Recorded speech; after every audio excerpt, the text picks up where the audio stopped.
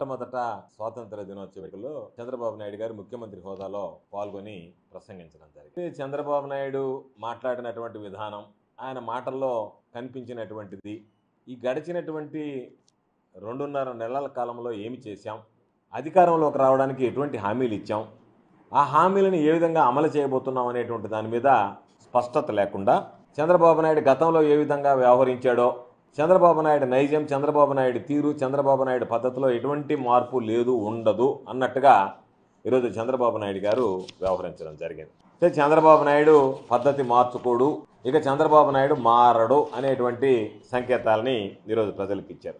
ఈ దేశంలోనే ప్రజా వ్యతిరేక విధానాలకి బ్రాండ్ అంబాసిడర్గా ఈరోజు చంద్రబాబు నాయుడు గారు వ్యవహరిస్తాడు.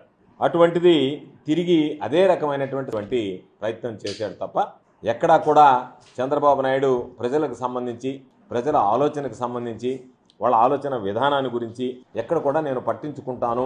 ప్రజలకు సంబంధించి ఇచ్చినటువంటి హామీలను నిలబెట్టుకుంటాను అనేటువంటిది ఎక్కడా కూడా చంద్రబాబు నాయుడు విధానాలలో కనిపించలేదు అనేటువంటిది ప్రతి ఒక్కరికి అర్థమైనటువంటి విషయం. ఒక ముఖ్యమంత్రిగా నూతనంగా ఎన్నికైనటువంటి ప్రభుత్వంలో మొట్టమొదటిసారి ఇచ్చేటువంటి స్వాతంత్ర దినోత్సవ సందర్భంగా ఇచ్చేటువంటి ప్రసంగంలో చాలామంది ఆశించారు. ఈ ప్రసంగం ఒక ప్రజలకు ఒక నమ్మకాన్ని విశ్వాసాన్ని కలిగిస్తుంది. చంద్రబాబు నాయుడు తన భవిష్యత్ పరిపాలనలో ప్రజలకు ఏ విధంగా అండగా నిలుస్తాడు ఎటువంటి పరిపాలన అందిస్తాడనేటువంటి దాని మీద ఒక స్పష్టత ఇస్తారనేటువంటి ఆశ చాలామంది ప్రజల్లో కలిగింది. చాలామంది ప్రజలు ఎదురు చూశారు కూడా. అయితే ఈ రెండున్నర నెలల హామీల గురించి చంద్రబాబు నాయుడు ఏదన్నా మాట్లాడతాడా అంటే ఏమీ వాటి గురించి మాట్లాడలేదు. తనకి ఏమీ పట్టనట్టుగా తను అటువంటి హామీలు ఏమీ ఇవ్వనట్టుగానే వ్యవహరించాడు తప్ప ఎక్కడా కూడా సూపర్ సిక్స్కి సంబంధించి ఆ హామీలకు సంబంధించి నేను ఈ హామీలు ఇచ్చాను ఇదిగో ఈ విధంగా నిలబెట్టుకుంటున్నాను అనేటువంటి ఒక రోడ్ మ్యాప్ కానీ దానికి సంబంధించి ఒక ప్రణాళికని కానీ ఏది కూడా ఈరోజు ప్రకటించలేకపోయాడు. ఈరోజు జగన్మోహన్ రెడ్డి గారి మీద మేము కక్ష కట్టాం. కక్షపూరితంగా వ్యవహరిస్తాం. రాజకీయ వేధింపులు ఉంటాయి కక్ష సాధింపులకు పాల్పడతాం అనేటువంటి పరోక్షంగా ప్రత్యక్షంగా సంకేతాలు ఇచ్చాడు తప్ప ప్రజలకు ఎటువంటి మేలు చేస్తాం అనేటువంటి ఆలోచన దాఖలాలు లేవు. ఈరోజు నిన్ననే లోకేష్ ఒక ట్వీట్ కూడా చేశాడు. రెడ్ బుక్కి సంబంధించినటువంటి మేము రెడ్ బుక్ పాలనని అందిస్తాం రెడ్ బుక్ పాలనకు కట్టుబడి ఉన్నాం రెడ్ బుక్ రాజ్యాంగాన్ని అమలు చేస్తామని. ఈరోజు చంద్రబాబు నాయుడు దురదృష్టం ఆయన ప్రసంగంలో కూడా ఆ రెడ్ బుక్ ఆదేశానుసారం మేము పనిచేస్తాము అనేటువంటి సంకేతాలు ఇవ్వడం దాని గురించి మాట్లాడడం. ఈరోజు చంద్రబాబు నాయుడు ఒక మాట చెప్పాడు.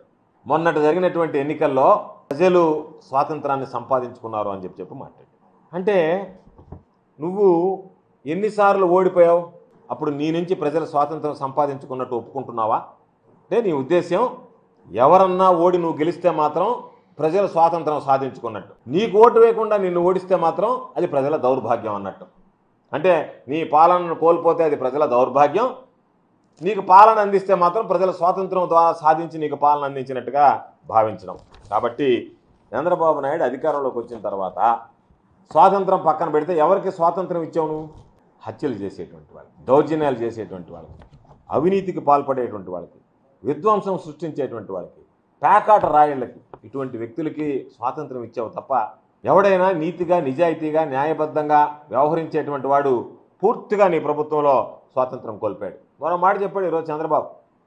జగన్మోహన్ రెడ్డి గారు ఒక్క ఛాన్స్ అని అడిగారు ఒక్క ఛాన్స్ ఇస్తే ఈ రాష్ట్రం ఈ విధంగా అయిందన్నాం అవును మేము గర్వంగా చెప్తున్నాం. జగన్మోహన్ రెడ్డి గారికి ఒక్క ఛాన్స్ ఇస్తే చంద్రబాబు నాయుడు జీవితంలో చేతకానటువంటి చంద్రబాబు నాయుడు నాలుగు సార్లు ఈ రాష్ట్రానికి ముఖ్యమంత్రిగా పనిచేస్తే డీబీటీ ద్వారా నాలుగు వేల కోట్ల రూపాయలు ఇవ్వలేకపోయినటువంటి అసమర్థుడుగా ఉన్నటువంటి చంద్రబాబు నాయుడు గుర్తుంచుకోవాల్సింది. జగన్మోహన్ రెడ్డి గారికి ఒక్క ఛాన్స్ ఇస్తే రెండు లక్షల డెబ్బై ఒక్క వేల కోట్ల రూపాయలు ఈరోజు డీబీటీ ద్వారా నేరుగా పారదర్శకంగా ఎవరికి సంబంధం లేకుండా ఈరోజు ప్రజలకు అందించేటువంటి కార్యక్రమానికి జగన్మోహన్ రెడ్డి గారు నాంది పలికాడు. అదేవిధంగా ఈరోజు అనేక రంగాలు విద్యలో కానీ వైద్యం కానీ వ్యవసాయ రంగాలకు సంబంధించి కానీ ఎక్కడా ప్రజలు ఎటువంటి ఇబ్బందులు పడకూడదనేటువంటి ఆలోచన చేసి ఈరోజు ఆ రంగాలకు సంబంధించి అన్ని విధాలు కూడా అండగా నిలిచినటువంటి పరిస్థితి అని చెప్పి మీ అందరికీ సందర్భంగా గుర్తు చేస్తున్నాను. కాబట్టి ఇటువంటి పరిస్థితుల్లో చంద్రబాబు నాయుడు జీవితంలో జరగనటువంటి పనులు చంద్రబాబు నాయుడు నాలుగు సంవత్సరాలుగా ఉన్నప్పుడు కనీసం చంద్రబాబు నాయుడుకు గుర్తుకు రానటువంటి పనులు చంద్రబాబు నాయుడు ఆలోచన కూడా చేయడానికి సాహసించినటువంటి పనులు జగన్మోహన్ రెడ్డి గారు ఈరోజు ప్రజలకు అండగా నిలిచి ప్రజలకు అనేక రకాలైనటువంటి అభివృద్ధి సంక్షేమ కార్యక్రమాలు అమలు చేయడం జరిగింది.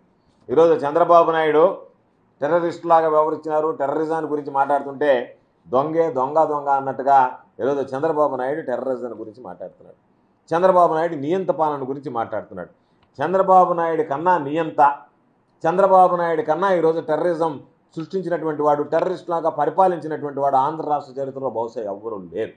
గడిచినటువంటి ఎన్నికల ఫలితాలు ఒక్కసారి చూస్తే ఎన్నికల ఫలితాలు వచ్చిన రోజు నుంచే ఈరోజు టీడీపీకి సంబంధించినటువంటి వ్యక్తులు తెలుగుదేశం పార్టీకి సంబంధించినటువంటి కార్యకర్తలు గూండాలు ఈరోజు నేరుగా యథేచ్ఛగా ఎప్పుడు ప్రజలు కనీ విని ఎరుగని రీతిలో విధ్వంసం సృష్టించారు. ఎన్ని రకాలైనటువంటి దాడులు జరిగాయి? ఎన్ని రకాలైనటువంటి హత్యలు జరిగాయి? ఎన్ని రకాలైనటువంటి ఈరోజు జరగకూడనటువంటి అనేక కార్యక్రమాలు చోటు చేసుకున్నాయి. ఇవన్నీ ఒక్కసారి ఆలోచన చేస్తే బహుశా చంద్రబాబు నాయుడు కూడా ఒక్కసారి సిగ్గుపడాల్సినటువంటి పరిస్థితి ఏర్పడుతుంది. రాష్ట్రానికి ఒక పెద్దలాగా వ్యవహరించాల్సినటువంటి వాడు ఏదన్నా పొరపాటు జరిగితే వాటిని నియంత్రించాల్సినటువంటి వాడు నియంత్రించగలిగేటువంటి స్థానంలో ఉన్నటువంటి వాడు ఒక ముఠా నాయకుడిగా వ్యవహరిస్తే ఏ విధంగా ఉంటుందనేటువంటిది ఈరోజు రాష్ట్రంలో చంద్రబాబు నాయుడు ముఖ్యమంత్రిగా పనిచేస్తున్నాడా ముఠా నాయకుడిగా వ్యవహరిస్తున్నాడా అనేటువంటిది ఈరోజు ప్రజలే ఈరోజు అర్థం చేసుకునేటువంటి పరిస్థితి అని చెప్పి సందర్భంగా తెలియజేస్తున్నారు. చంద్రబాబు నాయుడు చెప్పాడు అమరావతిని పురిట్లోనే చంపేశారని చెప్పి అమరావతిని అసలు పురిట్లో చంపేయడానికి కారకుడు ఎవరు? ఎక్కడ రాజధాని పెట్టాలనేటువంటి ఆలోచన చేసి నీ ధనదాహం కోసం నీవు ఎక్కడైతే రియల్ ఎస్టేట్ వ్యాపారం ద్వారా డబ్బు సంపాదనకు అనుకూలంగా ఉంటుందనేటువంటి ఆలోచనలో పడి ప్రజల శ్రేయస్సును విస్మరించి ఎక్కడ నీకు భూమి దొరుకుతుంది ఎక్కడ నువ్వు రియల్ ఎస్టేట్ వ్యాపారాన్ని అభివృద్ధి చేసుకోగలవు ఎక్కడ నువ్వు సంపాదించుకోగలవు అనేటువంటి దాని మీద దృష్టి పెట్టావు తప్ప ప్రజలకు సంబంధించి ప్రజా రాజధాని కావాలనేటువంటి దాని మీద దృష్టి పెట్టలేదు. దానివల్ల ఐదు సంవత్సరాలు నీ పరిపాలనలో మంచి స్థలం అంటే ప్రజలకు ఉపయోగకరమైనటువంటి స్థలం కన్నా నీ ఆదాయ మార్గాలకి ఏదైతే అనువుగా ఉంటుందనేటువంటి దాన్ని అన్వేషించి దానికి సంబంధించినటువంటి ఆ ప్రయత్నంలో జాప్యం చేసి అసలు రాజధాని అనేటువంటి దానిని రియల్ ఎస్టేట్ వ్యాపారానికి ఈరోజు ఉపయోగపడేటువంటి విధంగా తయారు చేసుకున్న తప్ప ప్రజల ఆకాంక్షలకు అనుగుణమైనటువంటి రాజధాని తీసుకురావాలనేటువంటి ఆలోచన నీలో కనిపించలేదు కాబట్టే రాజధాని విషయంలో జాప్యం జరిగింది. కాబట్టి అమరావతికి సంబంధించి పురిట్లో చంపేసింది ఎవరు అంటే ఆ ఆలోచన రాకముందే దాన్ని రానివ్వకముందే నిస్వార్థ ప్రయోజనాల కోసం రాష్ట్ర ప్రజల ప్రయోజనాలను తాకట్టు పెట్టావు కాబట్టే ఈరోజు అమరావతి అనేటువంటి దానికి జాప్యం జరిగిందనేటువంటిది గుర్తు చేసుకోవాల్సినటువంటి పరిస్థితి.